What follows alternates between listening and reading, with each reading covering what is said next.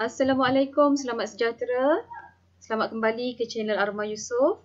Hari ini saya nak kongsikan dengan cikgu-cikgu uh, aplikasi yang saya gunakan untuk uh, merakam skrin. Yang saya gunakan sekarang adalah Bandicam. Tapi ini kali pertama saya gunakan Bandicam, jadi saya tak mahir. Saya nak kongsikan aplikasi yang selalu saya gunakan iaitu Screencast-O-Matic. Cikgu yang boleh type Screencast-O-Matic.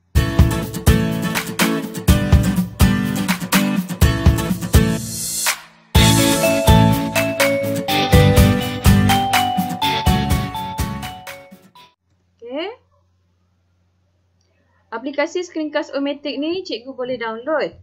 Uh, tapi saya dah lupa cara untuk download. Dah lama tak guna yang download saya gunakan yang online sahaja. Tapi tak ada masalah. Sebab apa? Uh, kita nak launch dia je perlukan internet. Okay, bila dah, dia dah keluar macam ni. Okay, yang bentuk macam ni. Okay, bila dah keluar yang tu, cikgu dah boleh tutup internet. Tak ada masalah. Okay, so cara dia klik pada record for free. Launch free recorder. Okay, so once dia dah keluar macam ni, cikgu nak tutup internet pun boleh lah. Tak ada masalah.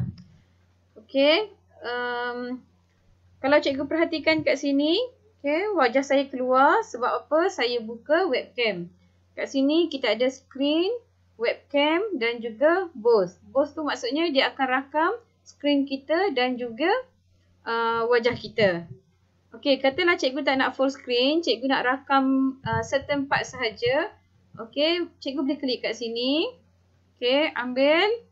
Uh, contohnya, klik saja mana-mana. Okey, klik 480 contohnya. Okey, so cikgu boleh gerakkan ke mana bahagian yang cikgu nak. Okey, ataupun cikgu nak kecilkan dia boleh, nak besarkan dia boleh, tak ada masalah. Okey, kalau nak full full screen macam tadi, pergi dekat size, klik sahaja full screen. Contohnya, kita buka PowerPoint. Okey, kita buka. Kemudian, okey, kita nak mengajar. Okey, so screen. Both eh. Saya buka both. Okey, nak bagi nampak wajah saya. Okey, kita sebagai cikgu, bila kita mengajar, tunjuk muka, budak lagi uh, senang nak faham eh. Budak lagi suka tengok cikgu dia.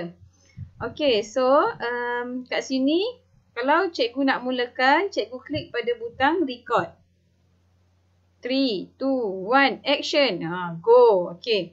So, cikgu boleh uh, mula bercakap. Okay. Contohnya, hari ini kita nak belajar 12.1 sistem suria perbandingan jarak planet dalam sistem suria dari matahari. Katalah kat sini, okay, cikgu gunakan uh, pen kat sini. Eh. Guna tools dia kat sini. So, apa sahaja yang cikgu uh, buat kat sini, dia akan rakam bersama. Okay, boleh eh? Okey, kalau cikgu nak stop sekejap, okey ada kesilapan ke apa cikgu nak stop sekejap, cikgu klik pada stop ni. Okey. Kalau cikgu nak mainkan, nak tengok dulu, okey apa yang cikgu rakam tadi, klik kat sini, preview. Oh, okey. Ha, so okay. cikgu boleh ha, dia kan uh, mula bercakap, okey. Okey. Kemudian, kalau cikgu nak sambung record, okey, cikgu klik sahaja dekat sini balik. Okey, klik sahaja kat sini balik. Okay. So, dia akan sambung rakam balik. Boleh eh cikgu eh? Okay, so cikgu pun cakaplah sambunglah slide seterusnya. Okay, sampai habis. Okay, bila dah habis, cikgu klik kat sini sekali lagi. Kalau cikgu tak nak, okay rakaman tadi salah, cikgu tak nak. Cikgu pergi sahaja kepada butang delete. Okay, kemudian delete everything. Tapi kalau cikgu rasa yang tadi dah okay, dah elok, klik sahaja pada done. Kemudian save.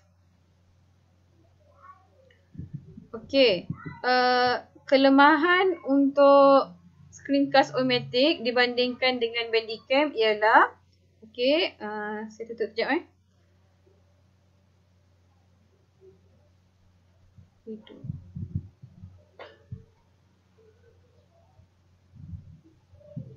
Okey, uh, saya lupa tadi nak terangkan satu kelemahan uh, Screencast-O-Matic ni kalau nak dibandingkan dengan uh, Bandicam ialah uh, kalau cikgu perasan kat sini uh, saya gunakan background warna hijau kan. Tapi uh, kalau screencast yang percuma ni dia tak boleh nak green screen. Dia tak boleh nak hilangkan warna hijau. Okay, kelebihan dia pula, okay, semasa kita menerangkan, katalah ada perkataan kat belakang bahagian belakang ni, jadi tak nampak, kita boleh gerakkan sahaja. Okay, kamera ni kita boleh, kedudukan ni kita boleh gerakkan ke mana-mana sahaja yang kita nak. Okay, tak ada masalah.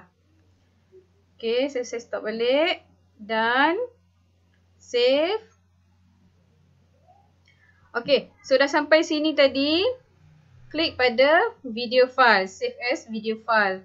File name masukkan, okay, uh, SOM, screencast omatic. Okay, masukkanlah nama file cikgu tu, folder, okay, cikgu boleh browse folder untuk cari kat mana tempat cikgu nak simpan.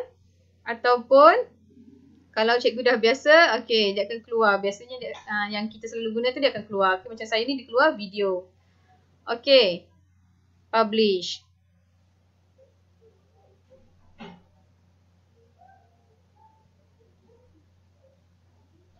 Okay, dan okay, bila dah selesai kat situ, kita pergi ke tempat yang kita simpan tadi. Ah, okay, yang ini eh.